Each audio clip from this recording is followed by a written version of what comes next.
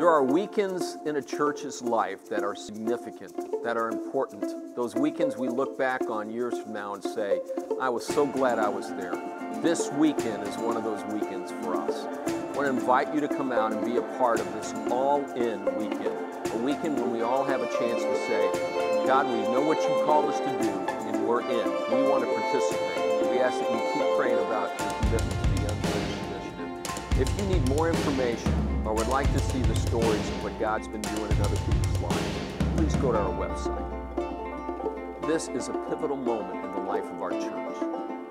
I look forward to seeing you this weekend as we share this together.